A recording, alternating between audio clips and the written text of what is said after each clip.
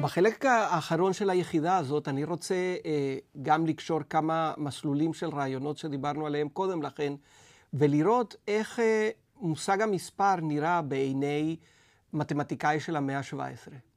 אולי כדאי אה, להדגיש את העובדה שדווקא המאה ה-17, יותר מכל תקופה אחרת אולי, היא תקופה של הרבה מאוד אה, רעיונות אה, ודעות סותרות.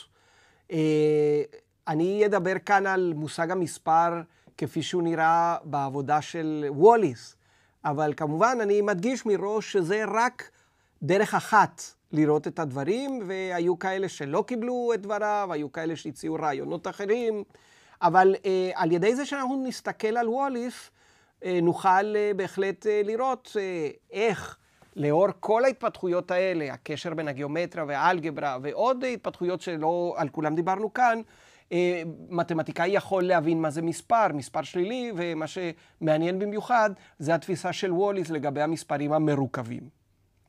אולי כדאי להתחיל בכך שנגיד אה, כמה דברים על ווליס, כדי גם להבין, כמו אה, מתמטיקאים אחרים, על איזה סוג של מלומד אנחנו מדברים כאשר מדברים במאה ה-17 על מתמטיקאי. למשל, ב-1655 הוא הוציא ספר אה, על החתכי חרוט במונחים קרטזיים, שבאיזשהו אופן זה המשך של אותם ספרים שדיברנו עליהם, של ון סחוטן ושל אה, דה ויט, אה, או אפילו בספר שלו מפתח את הרעיונות כך שהוא מטפל בצורות בשלושה מימדים, אם כי לא היו מספיק דוגמאות קונקרטיות שאפשר היה לאבד אותן, שידגישו איך הקשר הזה בין האלגברה לגיאומטריה הוא נכון גם אה, כאשר אנחנו מדברים על גופים ולא רק על אה, צורות אה, מישוריות. אה, וכמו אנשים אחרים, גם אה, ווליס אה, מאוד טיפוסי למאה ה-16, כאשר הוא השתמש בשיטות קרטזיות בהוכחה, הוא תמיד אה, העדיף, כמו שראינו במקרה של דויט, להוסיף הוכחות סינתטיות על מנת לחזק את הלגיטימיות של ההוכחה שהוא הכניס. ווליס עשה את לימודיו באוניברסיטת קיימברידג', אבל שם הוא לא מצא מישהו שידריך אותו בנושאים המתמטיים שעניינו אותו. ולכן שם הוא למד תיאולוגיה והוסמך לכמורה. זה לא רק אנקדוטה חולפת לגבי חייו של ווליס, אלא זה בא להדגיש לכם שבאותה תקופה פשוט לא היה כזה דבר פרופסור למתמטיקה בקיימברידג', אה, ודווקא אה, מיד אחרי זה זה יקרה, קודם כל עם אה, ברו שנדבר עליו, וכמובן עם ניוטון לאחר מכן. אבל זה לא היה בולט שצריך להיות אה, חינוך מתמטי גבוה במסגרת אוניברסיטה כמו קיימברידג'. אה, ווליס התמחה בפענוח קודים, והוא פעל אה, למען הפרלמנטריסטים במלחמת, במלחמת האזרחים אה, באנגליה. וכנראה שמתוך זה, אה, בסופו של דבר, זה זיכה אותו בקתדרה חדשה שנוסדה באוקספורד בשם סביליאן צ'ר, והוא החזיק בה במשך 50 שנה. הוא נמנה עם מקימי ה-Royal Society, אנחנו נגיד כמה מילים על ה-Royal Society בהמשך, אבל זה אחד מהמוסדות אה, החשובים שתורמים ושמאפשרים את אה, אה, אותן התפתחויות חשובות שאנחנו מזהים עם המהפכה המדעית של המאה ה-17. ווליס היה בין האנשים האלה, והוא גם תרם תרומה חשובה שנדבר עליה לחשבון אינפיניטסימלי. הוא רכש ידע מעמיק על העבודות של קפלר ושל טוריצ'לי ועוד אנשים שנדבר עליהם, כמו קבליירי ורוברבל, וכמובן גם על דקארט. כלומר, את החינוך המתמטי שלו הוא עשה על ידי קריאה של אותם ספרים שהיו נגישים והתפרסמו uh, באותה תקופה. ואחד מהדברים המעניינים, ועל זה נדבר ביחידה הבאה, הוא עסק בצורה מאוד מקורי ומעניינת באינסוף ככלי להתמודדות עם בעיות uh, מתמטיות. Uh, בין היתר, בהקשר הזה, הוא הכניס לשימוש את ה... סימנים רבים, וביניהם את הסימן הזה של האינסוף, שמקובל גם בימינו. עד עכשיו אה, הדגשתי כל הזמן את האופן השונה שבו צריך לראות פרופורציות, לא כמשוואה שמשווה בין שני שברים. אבל אחד מהתהליכים שקרו לאורך המאה ה-16, 17, לא דיברתי כל כך על זה, אבל זה ברור שזה נמצא שם, זה ההבנה ההולכת וגוברת של פרופורציה כמשוואה בין אה, שני שברים. ווליס, אה, אה, באחד מהספרים שלו, מציין שארבעה גדלים הם אה, פרופורציה, אם היחס בין הגודל הראשון לשני שווה, אבל שווה כמספר, כשבר, ליחס בין הגודל של השלישי לרביעי. כלומר, במילים אחרות הוא אומר פרופורציה ומשוואה בין אה, אה, שברים זה אותו דבר. כמובן שזה אה, אה, צעד מאוד חשוב להתייחסות היותר אחידה של כל שיטות המספרים. אה, והקיבעון, אפשר לקרוא לו, הזה של להסתכל בפרופורציה, לא כאל מספרים, זה שיחק תפקיד מאוד חשוב, ועדיין במאה ה-17 הפרופורציה עדיין הוא כלי חשוב מאוד. אבל אנחנו רואים למשל בדוגמה של ווליס, שהוא רוצה לראות את זה גם כיחס כמספר. הוא ציין את העובדה הזאת, אה, למרות שלא הדגיש אותה באופן מיוחד. הוא לא הזכיר שמה שהוא אומר כאן, יש בזה איזשהו שינוי מאוד גדול ביחס למה שהיה מקובל אה, אצל היוונים. אבל כבר ראינו בדוגמה של אה, משפט אוקליד 2.5, שככה נוהג ווליס בכלל. זאת אומרת, הוא לא חשב שצריך לשים דגש מיוחד אה, ביחס, או הדגשת היחס או השוני בין מה שהוא עושה היום למה שנעשה קודם. לא, ככה זה, זה הרעיון המתמטי, וזהו. מצד שני, צריכים להגיד שכמו מתמטיקאים אחרים במאה ה-17, הוא לא היה עקבי בשימוש שהוא עשה בסוגים השונים של המספרים. כך שרעיונות שמופיעים, כולל הרעיונות שאנחנו נדבר עליהם עכשיו, הם לאו דווקא רעיונות שנכנסו באופן עקבי וחד משמעי. המהלך הזה של הסתכלות או, או פרשנות של פרופורציה כשוויון של אה, שברים, הוא מהלך מאוד חשוב. מכיוון שהוא יהפוך את השבר ולכן את היחס כבסיס להגדרת המספר. אנחנו אה, נראה ב, בהמשך, ביחס למאה ה-17, שאנשים כמו ניוטון יגדירו מספר אה, בהתבסס על מושג היחס. מספר שלם הוא יהיה מספר שהיחס בין המונה למכנה הוא שלם, אה, יהיו כאלה שברים שאין יחס כזה, ויש אפילו מקומות שהיחס הוא אינקומנזורבילי. אבל מה שקודם היה צריך לראות בצורות שונות, בדרך הזאת אפשר יהיה לראות הכל כחלק מאותו דבר, רעיון כללי של מספר. חלק מהרעיונות החשובים של ווליס על המספרים מופיעים בספר האלגברה שלו, שפורסם ב-1673. ובו הוא עוסק, אה, אה, כמו שכתוב כאן, על אודות ריבועים שליליים ושורשיהם הדמיוניים באלגברה. כלומר, זה המקום שהוא יכול לדבר על מה שאנחנו קוראים מספרים דמיוניים. והנה אני מצטט קצת מתוך הספר, כך אומר ווליס, הייתה לנו הזדמנות בפתרון כמה משוואות ריבועיות וקוביות להזכיר ריבועים שליליים ושורשים דמיוניים, כמנוגדים למה שמכנים שורשים אמיתיים, חיוביים או שליליים.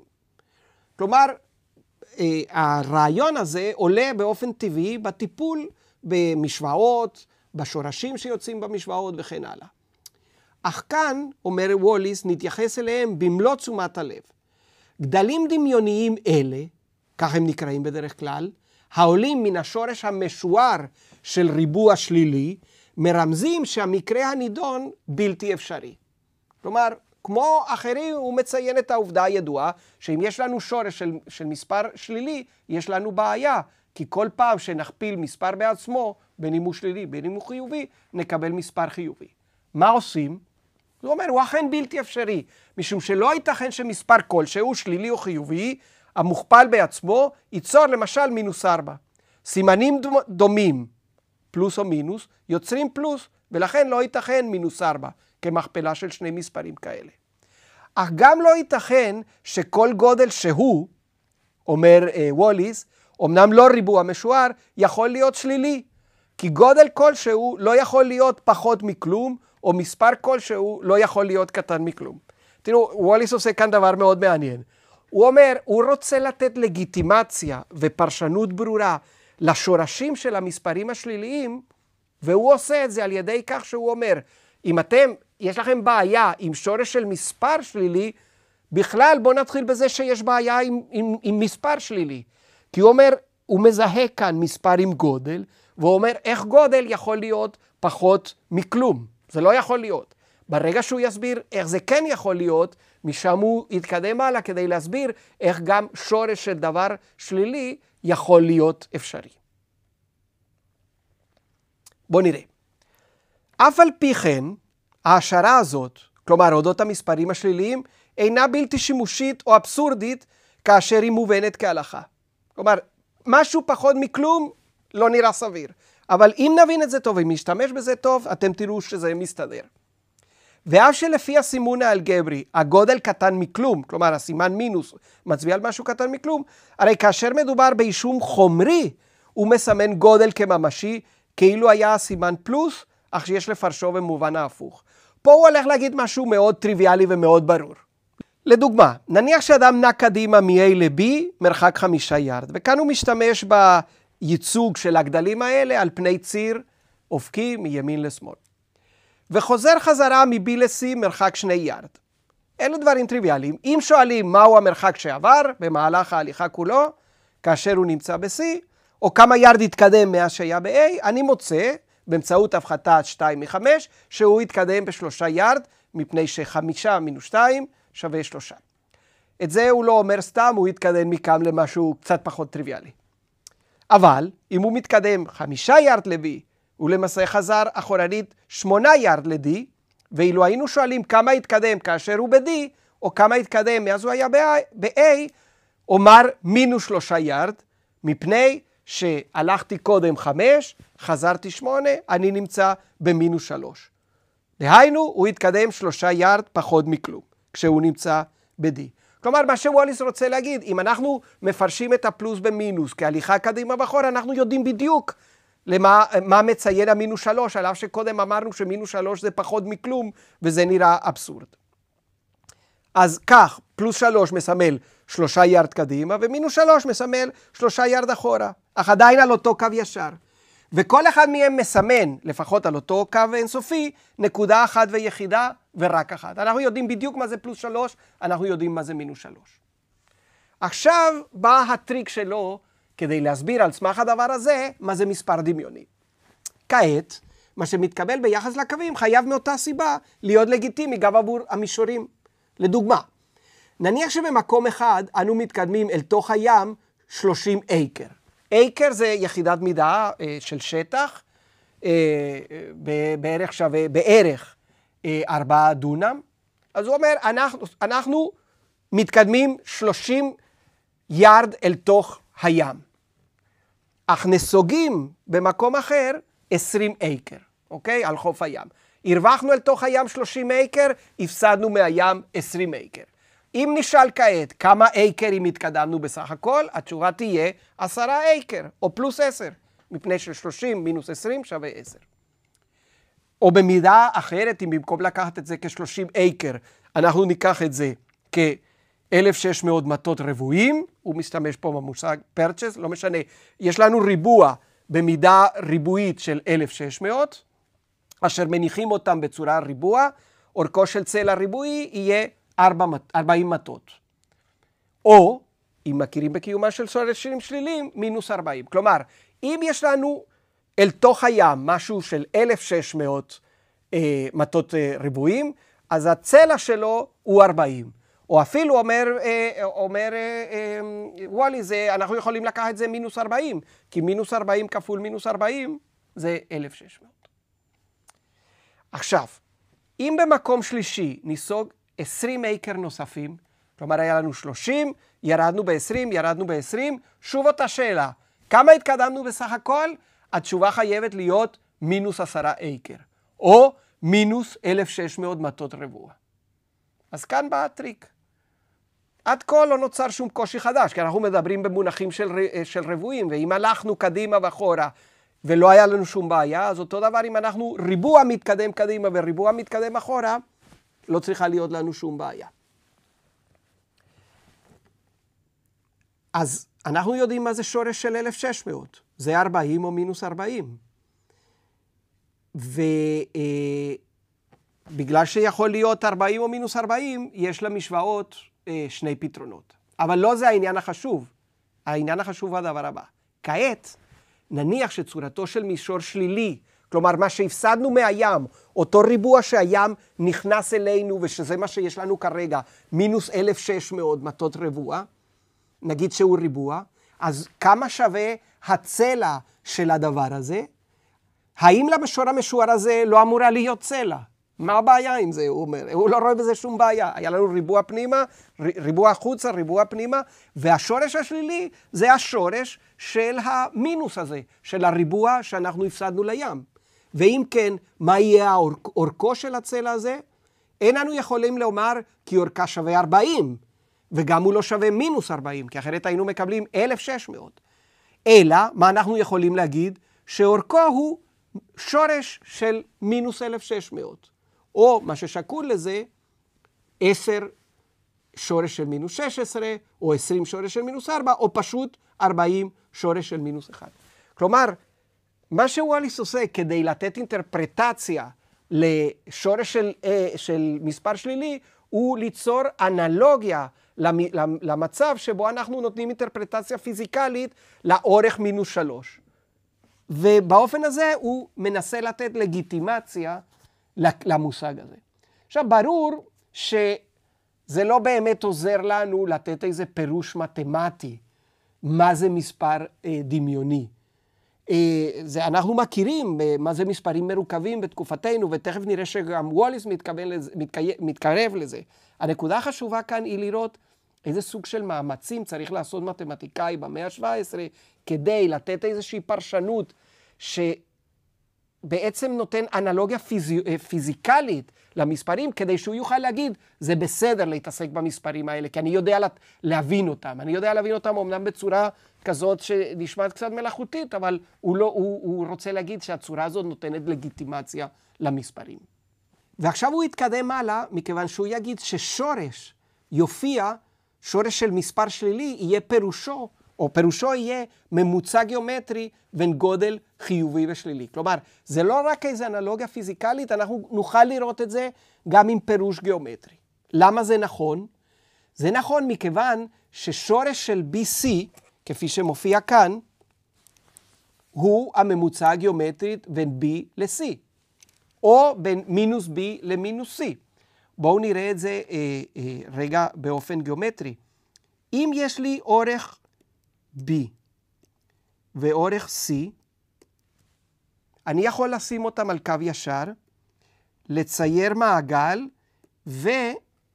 ולהסתכל על הגובה הזה. אנחנו יודעים שזה בעצם הממוצע הגיאומטרי בין B ל-C. מכיוון שעוד מימי אה, אוקליד, אנחנו יודעים למשל שאם נקרא לזה X, אז יש משפט על מעגלים שקובע ש-X בריבוע שווה ל-B כפול C. כלומר, אם יש לנו קוטר ואנחנו חותכים אותו במקום כלשהו ומרימים גובה, אז הריבוע הבנוי על הגובה שווה למלבן הבנוי על אה, אה, שני הקטעים שבו חילקנו את הקוטר. לכן, x שווה לשורש של BC, ומכאן אומר ווליס ששורש מייצג ממוצע גיאומטרי. אם נחזור לשקף שלנו, אז הוא יגיד ככה, שורש של BC זה הממוצע הגיאומטרי בין B ל-C, או בין מינוס B למינוס C, זה לא משנה, כי הלוא המכפלה של שניהם נותנת BC, ועכשיו הוא יגיד, אם כך, אז השורש של מינוס BC מסמן את הממוצע הגיאומטרי בין פלוס B ומינוס C, או אותו דבר בין מינוס B ל-C. כל אחד מהם, כאשר הוא מוכפל, יוצר מינוס BC.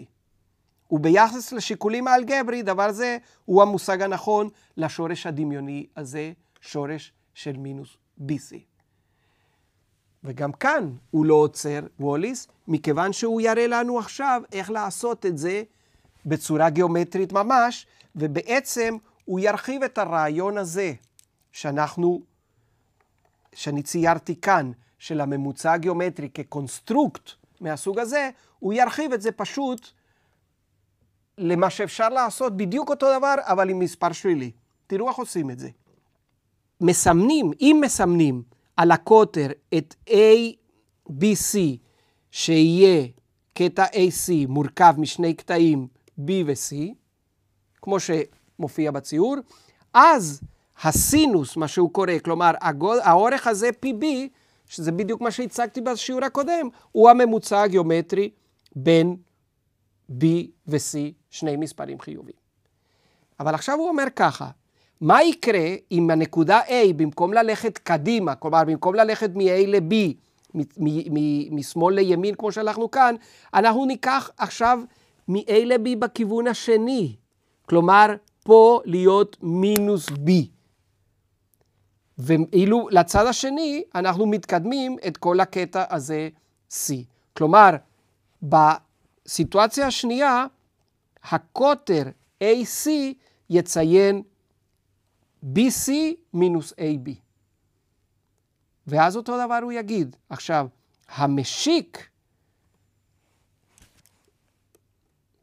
לצורה הוא זה שיהיה הממוצע הגיאומטרי בין מינוס V ל-C. וזה שוב מסיבות שקשורות ישירות בגיאומטריה, בתכונות גיאומטריות של המעגל. אז שימו לב דבר מעניין, שכאילו המספר הדמיוני הזה, השורש של מינוס BC, יוצא מתוך המעגל. וזה ייתן לווליס רעיון נוסף איך אפשר לעשות אינטרפרטציה של המספרים הדמיוניים. ואת זה אני מראה לכם כאן, עדיין באותו ספר. הוא אומר כזה דבר, יש לנו משוואה, x בריבוע פלוס 2bx פלוס c בריבוע, וכאן v ו-c הם גדלים חיוביים. אז עכשיו, אם אתם מייצגים על, באיזשהו אופן על המישור את הסיטואציה שמייצגת את הפתרון, הלוא הפתרון הוא x שווה מינוס b פלוס מינוס שורש של b בריבוע מינוס c בריבוע. כלומר, נוסחה פשוטה של משוואה ריבועית מביאה אותנו מן המשוואה אל הפתרון. ואתם אה, מציירים משולש, כמו שמופיע כאן בציור, שזה C וזה B. אז עכשיו יוצא שעל פי משפט אה, פיתגורס, אם אנחנו מתחילים, נגיד שאנחנו קובעים פה, כמו שאתם רואים, על הציר האופקי הזה את הנקודה 0.